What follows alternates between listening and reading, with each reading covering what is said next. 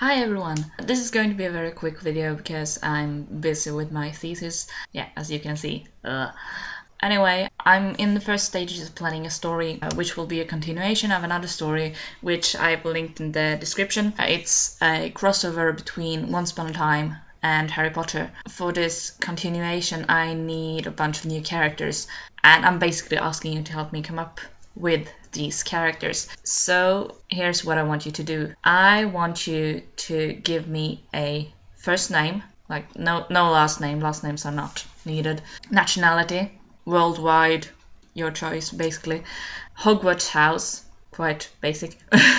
Five words to describe his or her personality, and that's just words. So not like likes to read or anything like that, but well, it can be bookish or quirky or moody or loner or anything like that.